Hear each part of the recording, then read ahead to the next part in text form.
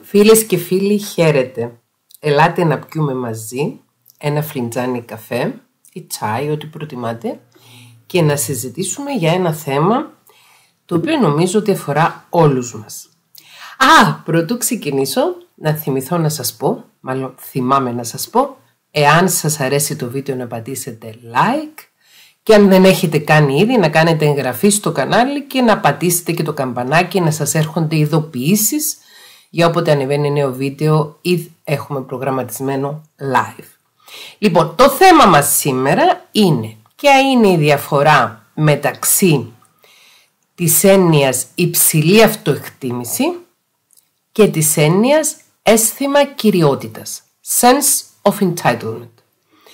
Αυτές τις δύο έννοιες τις αναφέρουμε κατά καιρούς στα βίντεο. Σήμερα θέλω να μιλήσουμε για ένα ζήτημα το οποίο κατά τη γνώμη μου διακρίνει τους ανθρώπους οι οποίοι είναι πραγματικά και ουσιαστικά καλλιεργημένοι από τους ανθρώπους οι οποίοι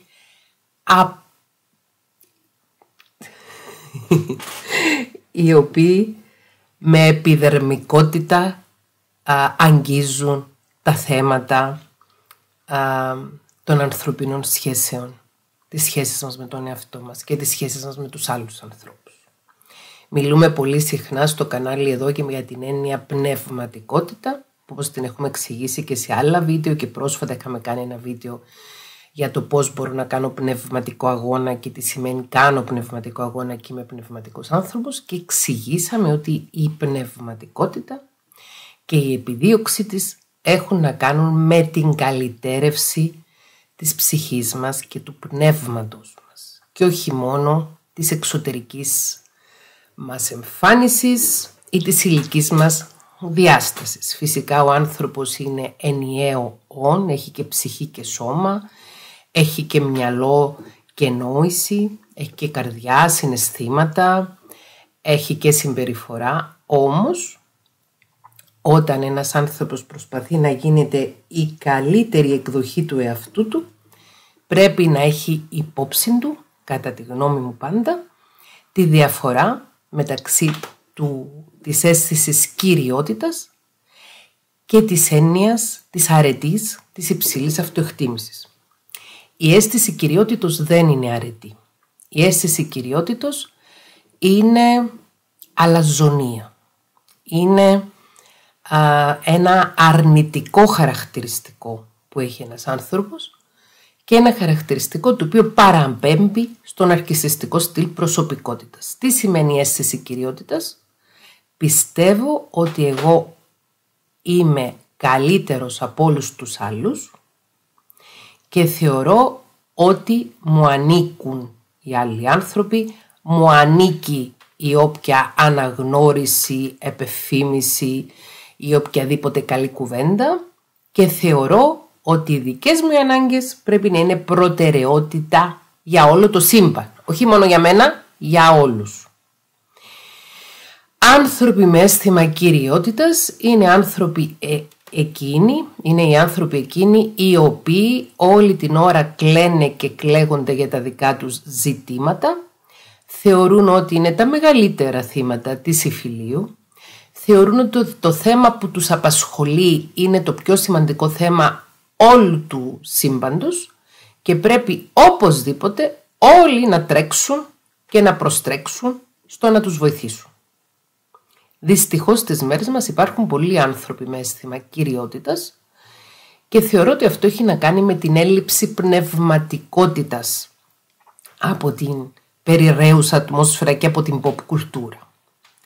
Το γεγονός δηλαδή ότι με γεννιούνται και μεγαλώνουν παιδιά σε ένα περιβάλλον στο οποίο προωθείται η ευμάρεια, η ληστική ευμάρεια, η εξωτερική ε, εμφάνιση πολύ περισσότερο από το πνεύμα ή μόνο αυτά και καθόλου το πνεύμα έχει ως αποτέλεσμα αρκετοί άνθρωποι να μεγαλώσουν πιστεύοντας ότι αποτελούν το κέντρο του σύμπαντος, ξαναλέω, όχι μόνο της γης, του σύμπαντος. Για να το κάνω έτσι λίγο πιο απλό και κατανοητό, πώς μπορεί να λειτουργήσει ένας άνθρωπος με αίσθημα κυριότητας; Ένας άνθρωπος με αίσθημα κυριότητας δεν μπορεί να περιμένει, δεν μπορεί να κρατήσει τη σειρά του, Αν θα πάει δηλαδή σε ένα χώρο να εξυπηρετηθεί σε ένα δημοσιογραφείο ή σε, σε ένα μαγαζί, θα βρει τρόπους να υπερπηδήσει τη σειρά. Καθώς οδηγεί στο δρόμο ένας άνθρωπος με αίσθημα κυριότητας, δεν θα σεβαστεί τα σήματα του κώδικου δικής κυκλοφορίας. Ένας άνθρωπος με αίσθημα κυριότητας, πρώτη σκέψη και μοναδική σκέψη σε οτιδήποτε κάνει, έχει τον εαυτό του. Γιατί νιώθει και πιστεύει ότι είναι ένας υπέροχος άνθρωπος, είναι ο καλύτερος άνθρωπος σε όλο το σύμπαν, ξαναλέω, όχι τον πλανήτη, σε όλο το σύμπαν και ότι όλα τα δικαιούται και ότι όλα και όλοι του οφείλουν να εξυπηρετούν τις ανάγκες του. Έχουμε μιλήσει πολλές φορές για τους κακοποιητικούς τρόπους με τους οποίους μπορεί να μεγαλώνει ένα παιδί και οι οποίοι να έχουν ως αποτέλεσμα αυτό το παιδί να έχει χαμηλή αυτοεκτίμηση.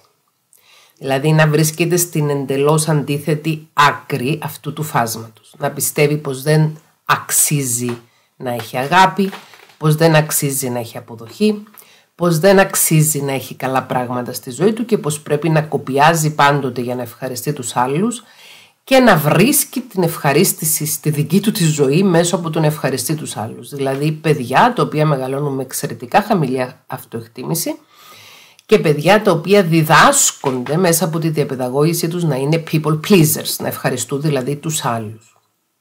Η λέξη αυτοεκτίμηση σημαίνει η γενικότερη εικόνα που έχω για τον εαυτό μου, η γενικότερη άποψη που έχω για μένα και τη θέση μου μέσα στον κόσμο. Χαμηλή αυτοεκτίμηση σημαίνει να πιστεύω ότι είμαι ανάξιος αγάπης, ανάξιος καλών πραγμάτων να μου τύχουν στη ζωή μου, ότι εγώ δεν αξίζω να αγαπηθώ, δεν αξίζω να χαρώ, δεν αξίζω να, να προχωρήσω και να εξελιχθώ και το θεωρούν οι άνθρωποι με χαμηλή αυτοεκτίμηση πολύ φυσιολογικό να αποτυγχάνουν οι όποιες προσπάθειες κάνουν για οποιοδήποτε πρόοδο και δεν έχουν και ιδιαίτερο κίνητρο για να προσπαθήσουν περισσότερο επειδή ακριβώς μέσα τους είναι πεπισμένοι πως δεν τους αξίζει. Η χαμηλή αυτοεκτίμηση προκύπτει ωραιότατα μέσα από κακή διαπαιδαγώγηση. Προκύπτει ωραιότερα μέσα από καταπιεστικούς γονείς, μέσα από γονείς απορριπτικούς, μέσα από γονείς νάρκισσους, οι οποίοι κοροϊδεύουν τα παιδιά τους, υποτιμούν τα παιδιά τους, λένε στα παιδιά τους πολύ άσχημες ε, λέξεις και τα χαρακτηρίζουν με πολύ άσχημες λέξεις και γενικότερα έχουν για τα παιδιά τους την χειρότερη γνώμη. Και τα παιδιά πιστεύουν, τείνουν να πιστεύουν, αφιλτράριστα λόγω ηλικίας και λόγω ανοριμότητας του εγκεφάλου, τείνουν να πιστεύουν αφιλτράριστα ότι λένε οι γονείς τους για αυτούς, ότι υπονοούν οι γονείς τους για αυτά ή ότι ξεφωνίζουν οι γονείς τους σε αυτά.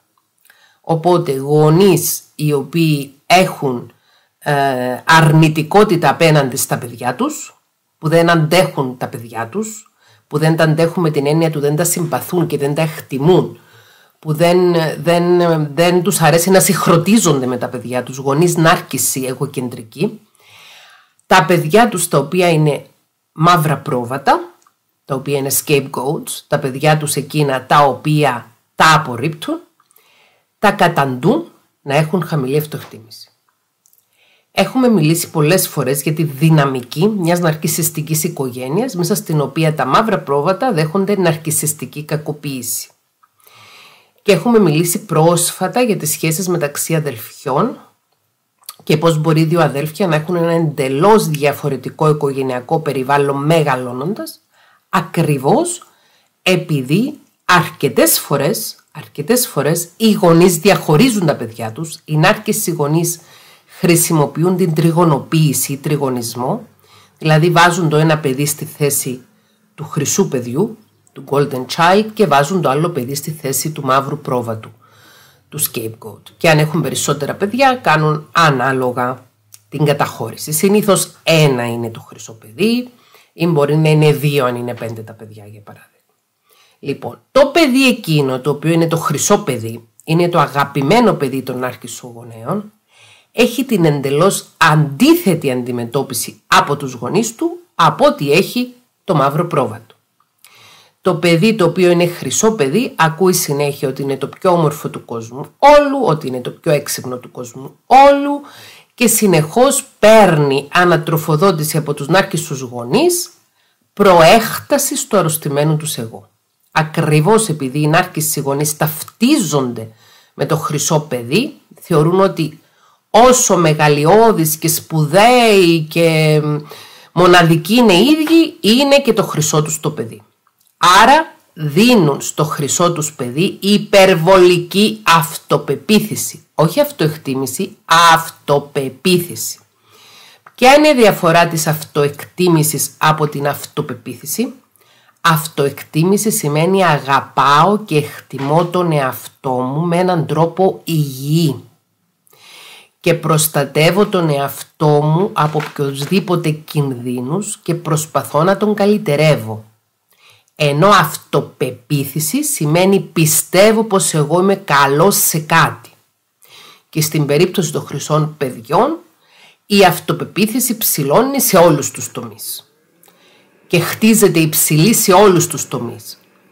Θεωρούν δηλαδή οι νάρκες γονείς οι οποίοι έχουν επιλέξει το χρυσό παιδί, πως αυτό το χρυσό παιδί είναι ικανό για τα πάντα, ότι είναι το πιο όμορφο, το πιο ξεχωριστό, το πιο έξυπνο, το πιο σπουδαίο κλπ. κλπ, κλπ. Και είναι πραγματικά γελίο κάποιες φορές όταν παρατηρείς σε ένα ουδέτερο περιβάλλον τέτοιες, τέτοιους διαχωρισμούς, να βλέπεις δηλαδή μια ναρκισιστική οικογένεια που να έχει δύο παιδιά και το παιδί το οποίο είναι στιγματισμένο, το παιδί το οποίο έχει το ρόλο του μαύρου προβάτου, είναι ένα ευαίσθητο παιδί, ευφυές παιδί, με ικανότητες που να παραβλέπονται και να παραγνωρίζονται από τους γονείς του και το χρυσό παιδί να είναι ένα παιδί το οποίο να μην είναι σε τίποτα ξεχωριστό ή πιο ξεχωριστό από ότι το μαύρο πρόβατο, αλλά ακριβώς επειδή το έχουν επιλέξει οι γονείς να παίξει το ρόλο του χρυσού παιδιού, να, ε,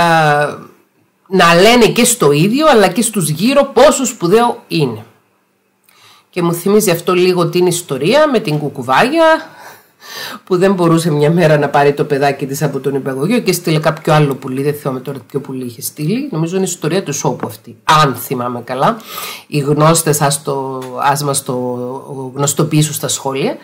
Ε, και λέει πώς θα καταλάβω ποιος είναι το, ποιο είναι το παιδί σου; Και λέει κουκουβάγια είναι το πιο όμορφο από όσα παιδάκια είναι στον υπαγωγείο. Εννοείται ότι η κουκουβάγια θεωρείται το πιο σοφό πουλί, όχι το πιο, όχι το πιο όμορφο πουλί, δηλαδή ε, το χαρακτηριστικό της κουκουβάγιας και γι' αυτό χρησιμοποιείται και σαν σύμβολο της σοφίας ε, η κεφαλή της κουκουβάγιας δεν είναι αυτό για το οποίο φημίζεται η κουκουβάγια η ομορφιά της. Όμως η κουκουβάγια πίστευε πως το παιδί της ήταν το πιο όμορφο από όλα τα παιδιά στον υπηαγωγείο. Άρα η κουκουβάγια ενέπνεε στο παιδί της υπερβολική αυτοπεποίθηση για την εμφάνισή του η οποία δεν είχε αντικειμενικές βάσεις. Η διαφορά μεταξύ αυτοπεποίθησης και αυτοεκτίμησης είναι αυτή.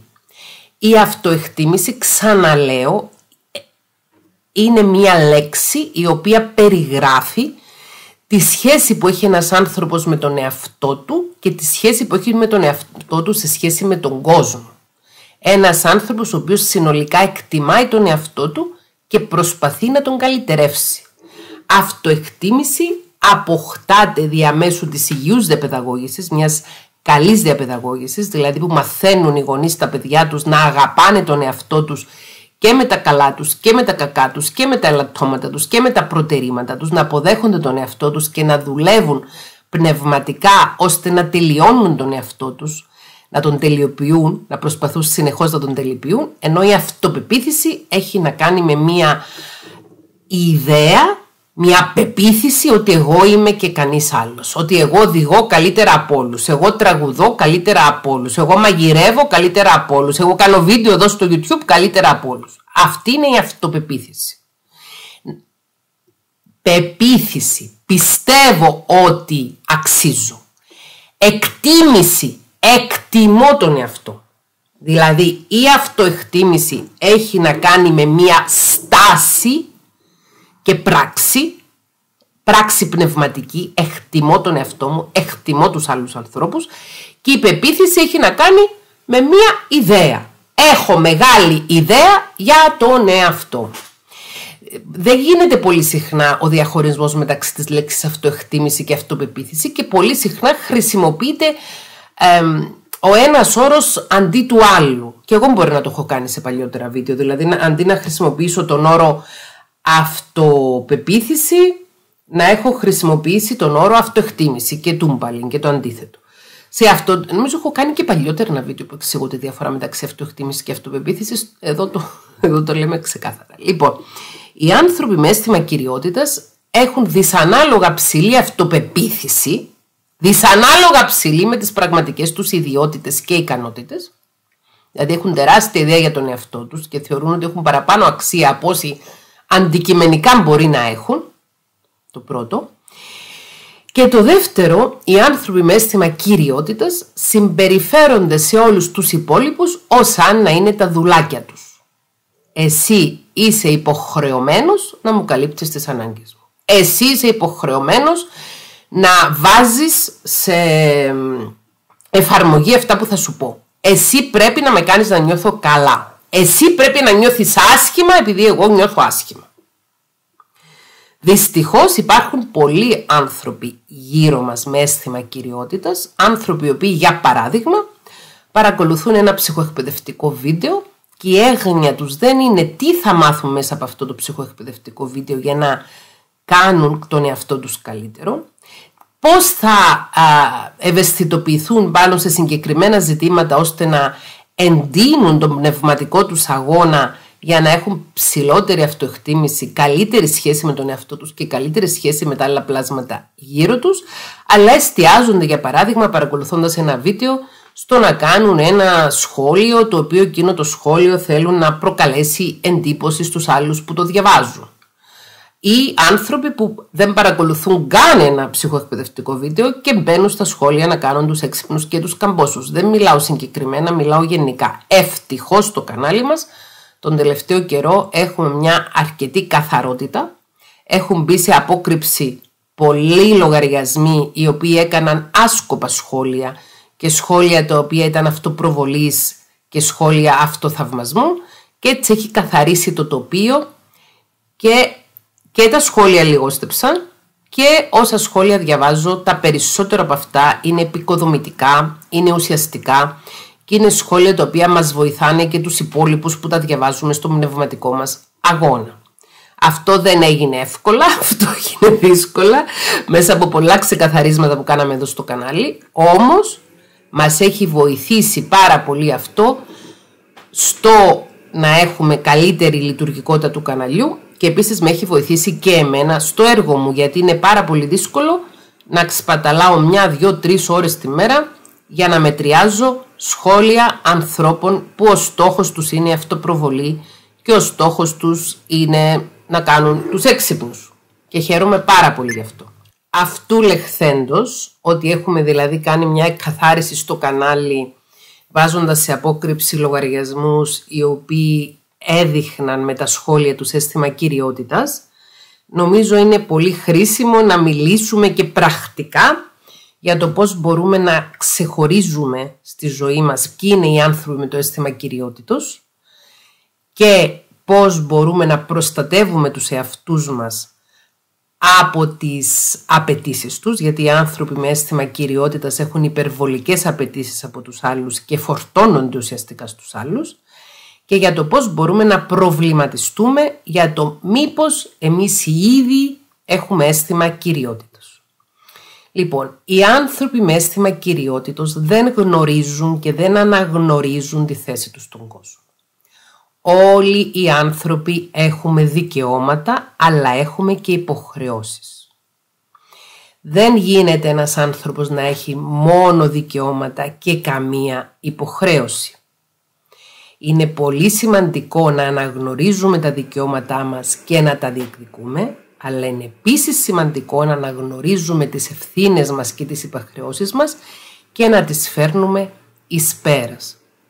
Κανένας άλλος άνθρωπος δεν είναι υποχρεωμένος να αναλάβει το δικό μας βάρος και τη δική μας ευθύνη γενικότερα. Όταν λοιπόν έρχεται κάποιος και ζητάει από εμάς να κάνουμε κάτι για εκείνο το οποίο μας στενοχωρεί, το οποίο μας επιβαρύνει, το οποίο μας φορτώνει, ας μην απαντούμε αμέσως ναι. Ας μην είμαστε δηλαδή people pleasers επειδή. Αυτή η σύνδεση γίνεται. Οι άνθρωποι με αίσθημα κυριότητας πάνε και φορτώνονται στους people pleasers, τους καβαλικεύουν και οι people pleasers θεωρούν ότι είναι υποχρεωμένοι να κάνουν τα καπρίτσια των ανθρώπων με αίσθημα κυριότητος. Άρα, εάν ένας άνθρωπος στο περιβάλλον μας, είτε είναι ένας συνάδελφος μας, είτε είναι ένα μέλος της οικογένειας μας, είτε είναι ένας άνθρωπος με τον οποίο συνδεόμαστε καθιονδήποτε τρόπο, έχει απαιτήσεις από εμάς, οι οποίες είναι του στυλ, κάνε αυτό για μένα, δεν θέλω το ένα, θέλω το άλλο, κάνε αυτό, κάνε εκείνο και εμείς νιώθουμε μία επιβάρυνση από αυτές τις απαιτήσεις. Νιώθουμε ότι απαιτούν πράγματα από μας, παίρνουμε μια ανάσα, κάνουμε ένα βήμα πίσω και λέμε δώσε μου λίγο χρόνο να το σκεφτώ. Δεν θα σου απαντήσω τώρα. Δώσε μου λίγο χρόνο να το σκεφτώ. Κάνουμε, παίρνουμε ένα time out δηλαδή και σκεφτόμαστε αυτό που μου ζητείτε να κάνω είναι κάτι το οποίο είναι δική μου υποχρέωση να κάνω, δική μου ευθύνη να κάνω.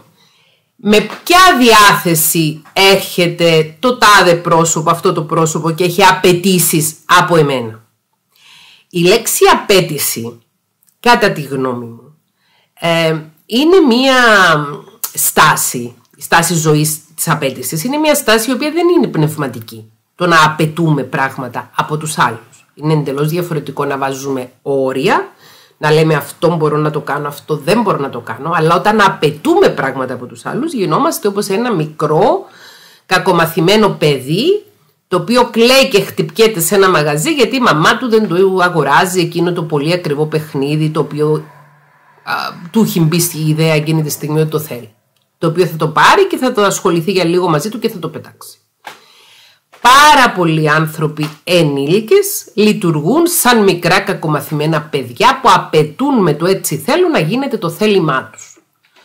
Όχι επειδή είναι σημαντικό το θέλημά τους, αλλά επειδή οι ίδιοι δυσκολεύονται να διαχειριστούν τα δικά τους συναισθήματα, δυσκολεύονται να διαχειριστούν τα αρνητικά συναισθήματα που έχουν μέσα τους και έτσι προβάλλουν το πρόβλημα πάνω στους άλλους. Εγώ δεν είμαι καλά γιατί εσύ δεν μου πήρες εκείνο το παιχνίδι. Εγώ δεν είμαι καλά γιατί εσύ δεν έκανες αυτό που σου είπα. Ή εγώ δεν είμαι καλά γιατί εσύ δεν ε, καθάρισες το σπίτι, δεν έκανες το ένα ή δεν έκανες το άλλο. Ένας άνθρωπος που είναι καλοσυνάτος άνθρωπος και καλός άνθρωπος και έχει υγιή σχέση με τον εαυτό του και με τους άλλους, δεν απαιτεί. Κάθεται και συζητάει. Ένα ζευγάρι για παράδειγμα δεν θα απαιτήσει ο ένας από τον άλλον να του κάνει καφέ ή να απαιτήσει ο ένας από τον άλλον να κάνει τις δουλειές.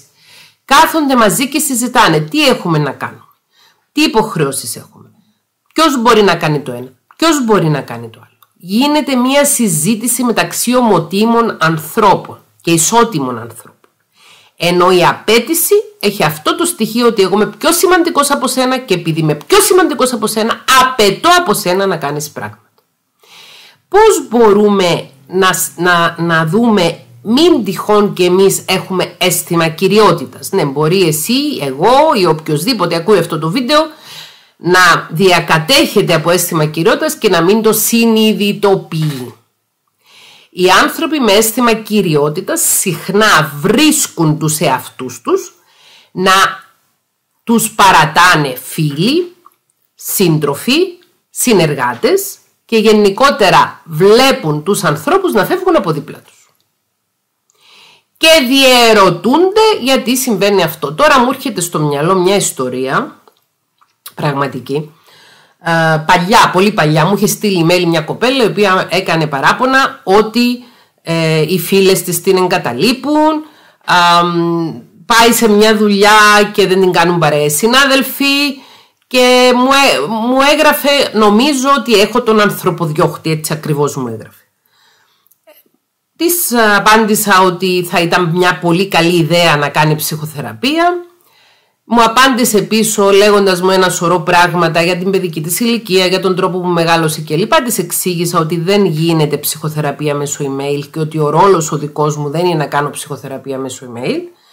Της εισηγήθηκα ε, κάποιους συναδέλφους τους οποίους θα μπορούσε να πάει για να κάνει ψυχοθεραπεία και μου στέλνει ένα email στο οποίο μου κάνει ένα σωρό παράπονα για δύο από τους συναδέλφους που τους εισηγήθηκα στους οποίους προφανώς πήγε, πήγε, τους έλεγξε, τους τέσταρε και δεν ήταν για τα standards της. Δεν ήταν καλή συνάδελφοι. Βρήκε ένα σωρό αρνητικά να πει. Τα οποία με βάση αυτά που έγραφε ήταν του στυλ ψάχνω να βρω ελαττώματα για να βγω από πάνω. Και της απάντησα και εγώ πίσω να ψάξεις να βρεις μόνη σου ψυχολόγο να πας. Α, λυπάμαι που α, ε, πήγες στους συναδέλφους και βρήκες αρνητικά. Α, σκέψου λίγο, σκέψου λίγο τις έγραψα, μην τυχόν και εσύ έχεις μια αρνητική προδιάθεση και γενικότερα βλέπεις όλους τους ανθρώπους αρνητικά. Και μου έγραψε πίσω ένα ολόκληρο κατεβατό ποια νομίζω ότι είμαι και γιατί να της το γράψω αυτό και της έχω πληγώσει τα συναισθήματά της και είναι ένας πολύ ευαίσθητος άνθρωπος και μου έχει γράψει όλη την ιστορία της ζωής της και γιατί να της πω ότι έψαχνε να βρει ελαττώματα και λοιπά και λοιπά και λοιπά. Καταλάβατε τίποτα από αυτή την ιστορία; Δεν μπορώ να κάνω διάγνωση, δεν είναι θέμα διάγνωσης, αλλά σίγουρα η κοπέλα αυτή είχε αίσθημα κυριότητος. Δηλαδή, ε, από τη μια μου είπε όλη της την ιστορία ενώ της, της συμβούλεψα να κάνει ψυχοθεραπεία για να βρει για ποιο λόγο οι άνθρωποι απομακρύνονται από αυτήν μου είπε όλη της την ιστορία εγώ της συστήσα συναδέλφους και της πήγαινε όπου θες κάποιες συνάδελφες είναι αυτοί και μετά το μόνο πράγμα που είχε να πει ήταν παράπονα για τους συναδέλφους και όταν εγώ της είπα εντάξει πήγαινε όπου θες αλλά νομίζω ότι τα παράπονα που μου λες δεν είναι κάτι ε, αυτά ακριβώς που μου λες εσύ δεν είναι παράπονα τα οποία κατά τη γνώμη μου καταδεικνύουν ότι οι συνάδελφοι δεν είναι καλοί. Κατά τη γνώμη μου, εφόσον μου τα γράφεις, δείχνουν ότι εσύ πήγες εκεί με διάθεση να δεις τα αρνητικά, μου την είπε και εμένα. Κανονικότατα έκανε και επίκληση στο συνέστημα ότι της πλήγωσαν τα συναισθήματά της παρόλο που ήξερα την τραυματική της ιστορία κλπ. κλπ, κλπ. Όλοι οι άνθρωποι μεγαλώνοντας βιώσαμε τραύματα, δεν υπάρχει άνθρωπος ατραυματιστός και ένας άνθρωπος με υψηλή αυτοεκτίμηση αναλαμβάνει την ευθύνη του εαυτού του και αναλαμβάνει ο ίδιος να βελτιώσει τη σχέση του με τον εαυτό του και δεν κάνει εμετό αυτά τα αρνητικά συναισθήματα που έχει πάνω στους άλλους. Και εκ των υστέρων, για αυτή την ιστορία χωρίς να ξέρω σίγουρα, υπο, υπέθεσα και υποθέτω ότι οι άνθρωποι που την απέφευγαν ήταν γιατί ακριβώς είχε αυτό το αίσθημα κυριότητας ότι έχει περισσότερα δικαιώματα από τους άλλους και ότι συνεχώς πρέπει να απαιτεί από τους άλλους πράγματα. Αυτό είναι το πρόβλημα με τα χρυσά παιδιά των άρχισων γονέων. Ότι κάποια στιγμή θα φύγουν από την αρχισιστική φωλιά του σπιτιού τους, θα πάνε κάπου αλλού που δεν θα είναι ο νάρχισος μαμά ή ο νάρχισος μπαμπάς που θα τους καλοκρατάνε και θα τους κάνουν όλα τα χατήρια και τους λένε εσύ είσαι παιδί μου και κανείς άλλος θα βρεθούν έξω στον πραγματικό κόσμο, ο οποίος είναι πολλές φορές χαοτικός και θα συνειδητοποιήσουν ότι αυτά δεν περνάνε. Εκτός και αν πάνε να βρούνε θύματα, ανθρώπους με χαμηλή αυτοεκτίμηση, ανθρώπους συνεξαρτώμενους, τους οποίους να αδικούν συνεχόμενα και να κακοποιούν εις βάθος. Δεν ξέρω αν κατάφερα να σας μεταφέρω τις απόψεις που ήθελα να σας μεταφέρω σε σχέση με το αίσθημα κυριότητος και την υψηλή αυτοεκτίμηση. Ποια είναι η διαφορά; Η υψηλή αυτοεκτίμηση είναι αρετή την οποία καλά κάνουμε να την α, καλλιεργούμε μέσω πνευματικού αγώνα και το αίσθημα κυριότητας είναι ελάττωμα, είναι ένα αρκισιστικό χαρακτηριστικό προσωπικότητας το οποίο καλά κάνουμε να το, να το καταπολεμούμε εάν το έχουμε και να αποφεύγουμε ανθρώπους που το έχουν γιατί αυτοί οι άνθρωποι δεν έχουν τίποτα ουσιαστικό και δημιουργικό να προσφέρουν στις σχέσεις με τους άλλους ανθρώπους παρά μόνο να βγάζουν τα σκουπίδια τους πάνω στους άλλους και να φορτώνουν τις ευθύνες τους πάνω στους άλλους. Θα χαρώ πολύ να διαβάσω στα σχόλια αν έχετε τέτοιες εμπειρίες. αν έχετε πιάσει τον εαυτό σας δηλαδή κάποιες φορές να έχει αίσθημα κυριότητας ή αν ε, θεωρείτε ότι λόγω χαμηλής αυτοεκτίμησης πέφτετε θύματα ανθρώπων με αίσθημα κυριότητας. Φιλιά.